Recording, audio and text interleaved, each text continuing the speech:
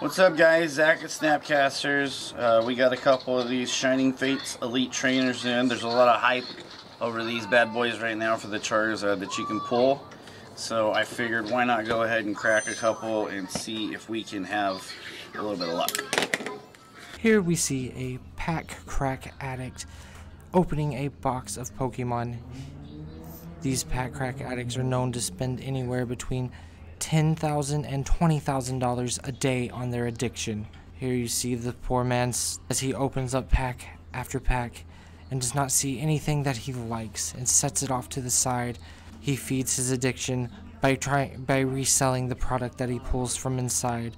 He does not find anything that he likes. He takes a second to show off a few few of his better finds, but he does not find that that addiction, that sweet Charizard V that he is so longingly looking for.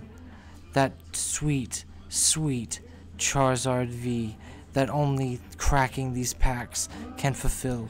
Yes, that deep $3,000 card that he spends tens of thousands of dollars a day on. He just cannot seem to find it. There is hope, for he has all these other cards to satiate his addiction for now. Thank you for watching.